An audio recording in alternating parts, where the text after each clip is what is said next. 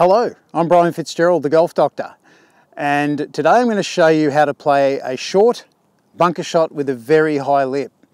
And this one's for you, Angie McGlue.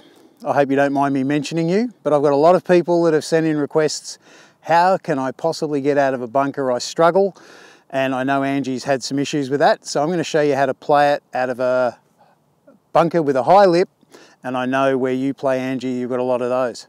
So it's not as hard as you think, but the way I like to approach it is first of all, where I see most people going wrong in bunkers is they're really trying to help scoop the ball out and they're sort of falling back to their right, they're lifting up and that results in making contact in the ground behind the ball. It also means that the, the club is, once it hits there, it's coming up and it's topping it.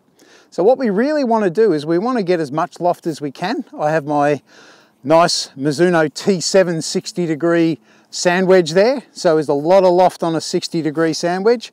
Loft is your friend, particularly in this shot. So if I put that down there, you can see there's a heap of loft on it. So all I need to do is get the club under the ball and the loft will take care of itself as long as I've got enough momentum. So the first thing I would be practicing if I was uh, trying to get better at this shot is I would be just thinking not about the technique, but thinking about can I get sand out onto the green? Because if the sand comes out onto the green, so will the ball. So from here, it's just have a few practice swings. And what I see a lot of people doing is they start doing this. So they hit the sand, they hit under the ball, but there's no momentum, so that sand just stopped halfway in the face there. We really want to get this out.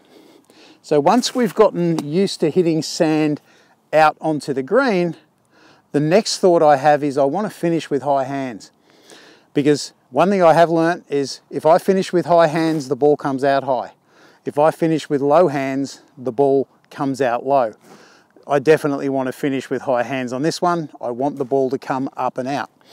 So the ball is just very slightly forward of center. I lean just slightly in, I'm not too much, just slightly forward toward the target. I don't worry about opening my club face and adding loft. There's enough loft on this club to do the job for me. But I'm thinking about getting sand out and momentum. So we'll see how I go. So that one came out. That's probably about two club lengths away from the flag. Not a bad result, little downhill putt. I probably shouldn't have hit it there, but you could see that sand came out and the ball came out. So I've just given this a little rake. We're in COVID-19 conditions, so rakes are no, not in the bunker at all. I've just given it a bit of a rake over with my foot. So uh, the bunkers here at Lang Lang are fantastic. It reminds me a lot of sandbelt golf courses. So uh, we're only about an hour and a quarter from Melbourne here. Well worth a visit if you want to play a nice uh, course. A lot of the courses in Melbourne are wet at the moment.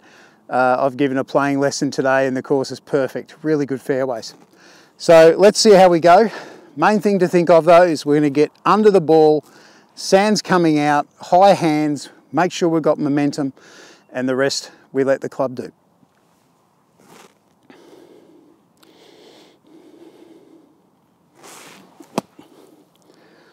Probably not the best shot I've ever hit, but the important thing is the ball has come out. So that's finished about three clubs out to the right. Oh, it looks like it's rolling. No, it's continuing to roll. That's probably gonna come off the green. Oh no, it just stopped. So at one stage it was a lot closer than it was. So you gotta be careful. But mostly when you're in the bunker, let's just get it out.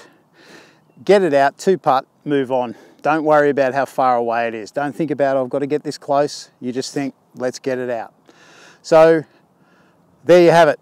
They're my ways of playing a high lipped bunker shot. It's not as complicated as you think. Don't overcomplicate it. Keep it simple. Hit down, follow through, high hands, and move on. Thank you for letting me help you with your golf. I'm Brian Fitzgerald, the Golf Doctor, and I look forward to seeing you in my next video.